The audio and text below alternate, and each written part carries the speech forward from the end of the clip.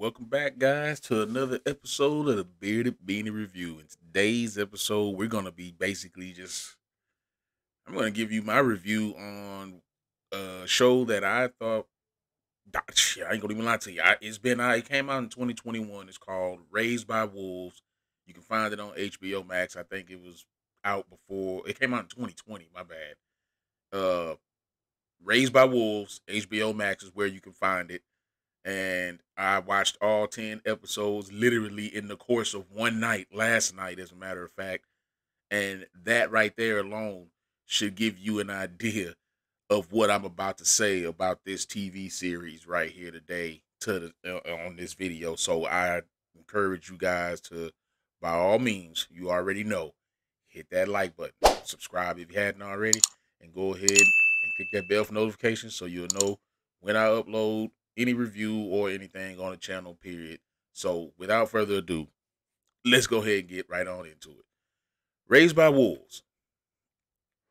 Let's we have I'm not gonna go into the actors and who they are and whatnot, but I will say, I even though I know who they are, I will say this is some of their best work that I've seen from them, and I cannot wait till season two drops, which is soon, February February. We looking at me, Elmer Fudd sounding it. February 3rd, as a matter of fact, on HBO Max, season two will be dropping out. So you got some time. Like I said, I watched this in one night.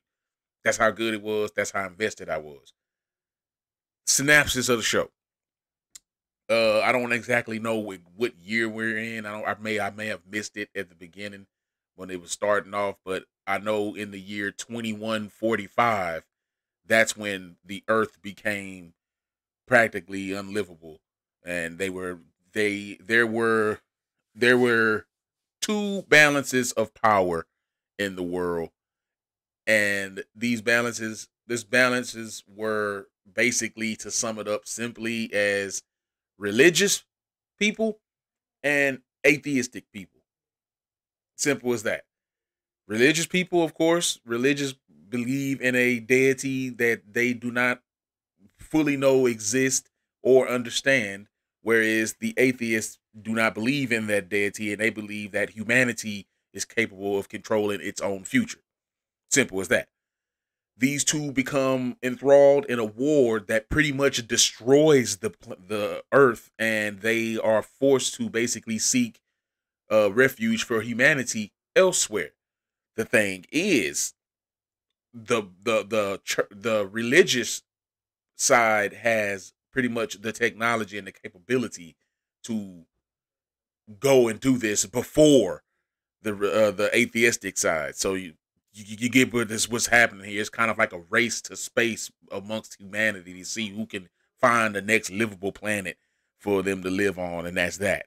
And before the next, the before the the the you know the enemy finds his way there. So, uh we we we catch up with two humanoid uh uh I'm just going to say they were androids, uh mother and father who arrive on Kepler 22b, I believe is the name of the planet. I don't know if it's been explored before they got here or not. All we know is this these two humanoid androids make it there. They find a place to set up space uh shop. They get everything going. You get mother incubated with four or uh, six fetus, fetuses. And basically, she's basically going to bring these fetuses to life, you know, carry them like a cycle, like a mother, six, nine months, raise them and all that stuff. And basically, they're going to restart humanity fresh on another planet. That's the whole purpose of this this series is to for humanity to get another shot at where we failed the first time, which is I like these kind of shows because I mean, shit, it's life imitating art, and you know what I'm saying. Like, it, we are living in an era where people are suffering because they don't either one believe in religious, believe in a religion, or they believe so strongly in just the capability of themselves that they don't need a religion. Which I understand. You got to get, you got to think it's hard living in the world where people everybody's telling you what to believe and what you should be doing and it's hard to figure out what you should be doing. And that's always been a problem for me. That's always been a problem with the channel for a little bit because i know what y'all want to see but uh, some shit that y'all like honestly i'm just not fucking into. You, you you in fortnite dude that's fine. That's your cup of tea. That's not my fucking game. I don't play that shit. Simple as that. You know what i'm saying? I might play games like it but that don't that, that's that's battle royales and stuff like that. That's not me. I'm sorry. You know what I'm saying? I don't like a certain movie. I don't like a certain song. We all go through that shit, right? So yeah, it's pretty much uh you know what we pick up at. Like I said, we got mother and father. They colonize. They get the kids grown and whatnot, and they start experiencing the the just the first steps of life Uh, being able to be in the there to restart humanity, how it has to go. These kids were no were not kin, they were from different races. You know what I'm saying? The thing is, like I said, I don't know how much they knew about the planet. Because after so long, things start happening. I mean, the way things happen here on Earth for us, you know, let history tell it, are the pretty much it's pretty much the same thing that's gonna be going down there. So we move story and everything. We still, it, it, let me say, it's a mystery. The planet itself is a mystery. There are things laid around that give you the idea that there was something else there before us for sure.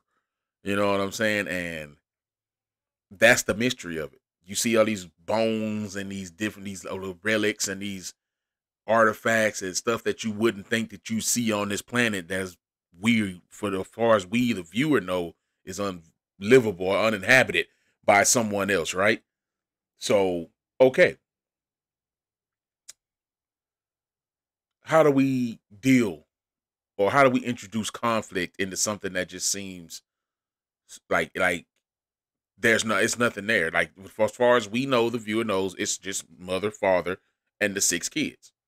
And whatever elements that they may come against that I'm sure that they capable of handling because we find out that the mother bot is way more advanced than the father bot. And we also get to dealing with certain elements of like okay you got the kids you got your human nature and then you got elements of androids being around humans adapting human you know emotions feelings thoughts and you know i'm saying tendencies and stuff like that.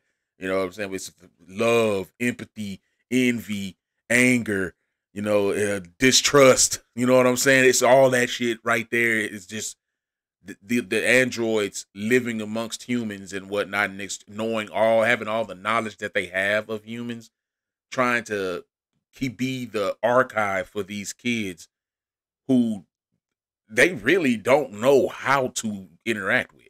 I mean, be, they these androids are well past being like just, hey, I'm a computer in a human body. You know what I'm saying? Like, it's past that. These motherfuckers actually think. They're actually thinking about like, man, I'm hurting, dude. I'm like, I'm upset. You know what I'm saying? Like, I, love my kids. That's how they really treated those kids. Yes, they were a miss was a mission to protect them. You did they made that clear, but they loved those kids. You know what I'm saying? And they were upset and let down and betrayed and hurt by those kids. And those were feelings that they actually processed and understood how to, or didn't understand how to handle. I mean, I'd like to sit here and spoil this whole show for you a little, but I, am trying not to do it by explaining the shit that I'm saying. I, uh, uh, otherwise, other, I mean, it's a very good show, man. And if season two is about to start, and I hate being a, the guy that watches the season week after week, I hate waiting. And I feel like that's what I'm gonna do with season two. But you know what? I didn't give this show a chance at first when it came out. I saw it and I just like, man, okay, whatever. You know what I mean? But going back and watching it now, like I tend to always do, I'll always go and watch some shit later. And I went back and I watched this one and I was pleasantly surprised. I'm glad I watched it. I'm glad I watched it. I'm invested and I'm recommending that you go and give it a shot as well. It's called Raised by Wolves. Don't eh, don't not, you know, you may not be your cup of tea, like I said before, but hey, whatever, man. Raised by Wolves, HBO Max. If you, you got it, you got to get access to. I'm pretty sure it's on Amazon as well too. But it's it definitely worth the watch. If I had to say, it's from and then it's from Ridley Scott. Ridley Scott, is one of them directors who don't fail. You know what I'm saying? So you ain't gonna you, you ain't gonna miss going to check this one out for sure. With that being said, guys, if you enjoyed the video, a like rating is always appreciated. Again, subscribe to the channel if you hadn't. That bell for notifications. You know what I'm saying? Share this with the people, and yeah, go check out Raised by Wolves, man. And I, I will be keeping my. I started watching and for. I started watching The Gilded Age too. I, dude, I told you I'll watch anything. you know what I'm saying? So if you got any suggestions or whatnot, you know what I'm saying, let me know. I will be doing a review of episode four of no episode five of Peacemaker. That's gonna be coming up here soon. We got some things to talk about over there and how I'm really enjoying that show. And I can't wait to do a season to a full season review. So y'all stay tuned for that. But guys, I'm gonna go ahead and roll up out of here. That's been the video for Raised by Wolves. I do recommend you go see it. If I had to give it a rating, I'd go ahead and give it a 4.9 out of 5. Some things just did hit them. Some things were just like, eh, didn't need to do that, but or I didn't need to see that or whatever. Yeah, you know how it is. You know what I'm saying? It's, Not everything is gonna be perfect. This one was near perfect, and that was good enough, guys. So y'all take it easy. Have a good one. It's your man Beanie. I'm out. Peace. Always do that shit.